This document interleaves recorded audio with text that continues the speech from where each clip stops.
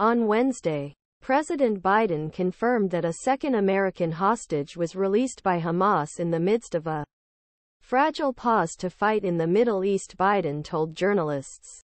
Israeli-American Liat Atzili'nin Egypt is safe in front of the border, said the president. Atzili'nin mother and father. He added, things are moving well. B. Biden said, Atzili'nin should be at home soon. He added, then on Wednesday, Jill and I are deeply pleased to reunite with three children and his father, who was hugged with concern for safety. We are determined to ensure that the person is released.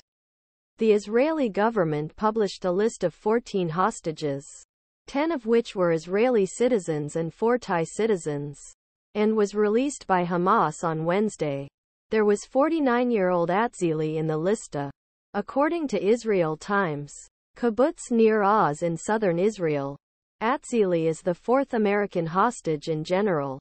Al-Istirma agreement to pause war in Gaza and facilitate release of hostages an agreement in which U.S. works intensively to guarantee, maintain and expand now on sixth day.